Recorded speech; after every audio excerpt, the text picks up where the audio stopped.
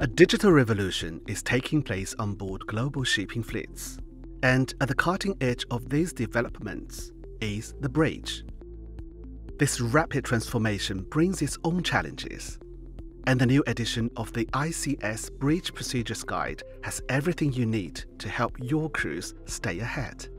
Key topics covered in the guide include safe navigation, bridge team organization, environmental compliance, passage planning, pilot information, modern bridge technology, and much more.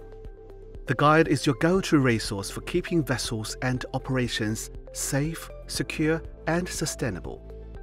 A recommended carriage on all vessels by the International Maritime Organization.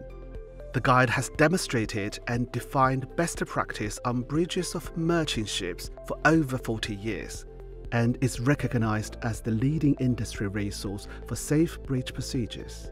Now, in its sixth edition, it has been improved throughout to be more accessible and user friendly, including simplified language and more use of images and visual aids to improve understanding and support training. It also includes extensive downloadable checklists for use by companies, masters, and officers. The guide recognizes the important role of the bridge at the heart of the ship's operations and contains the most comprehensive, up to date information available anywhere.